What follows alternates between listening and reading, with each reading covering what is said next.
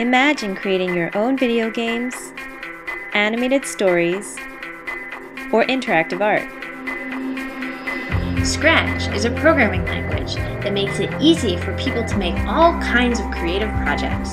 With Scratch, you can make things walk, talk, sing, dance, bounce, fly, win, lose, or draw. Scratch is used by all different kinds of people all over the world to make all different kinds of projects. I love drawing stuff. I especially liked drawing this picture because it was really fun. In this project, I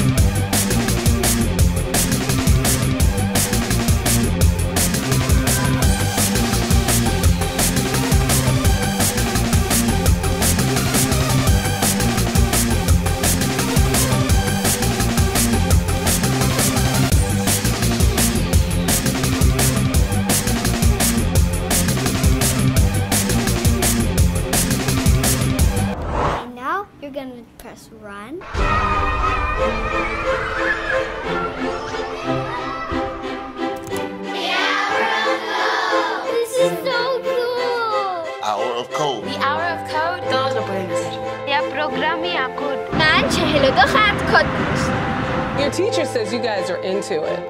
We are. It's very awesome.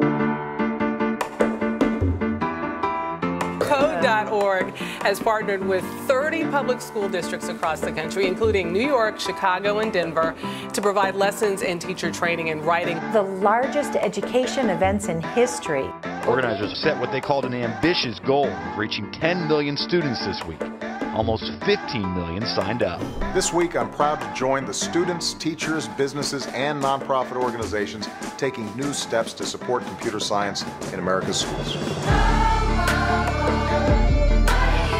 I ran an hour of code that's easy to do.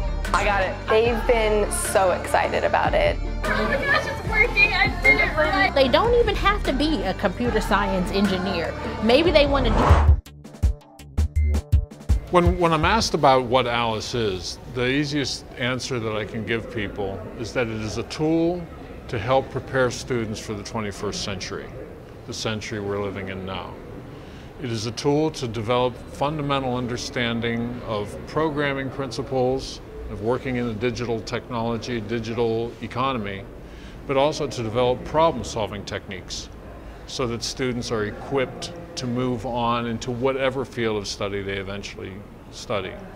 It was originally designed to create uh, an understanding of fundamental problems because students coming to their first programming class were not very successful. They were having a hard time because they weren't well prepared and that the expectations of the, of the professors was maybe higher than what the students could meet. And so very talented students often would get frustrated and they would leave.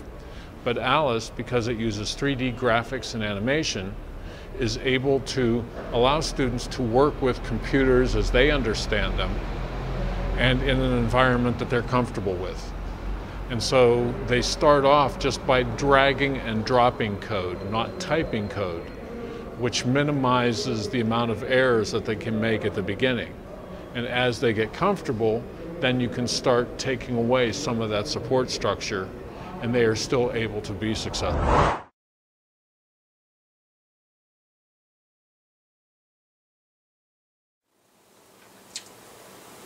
Whoa.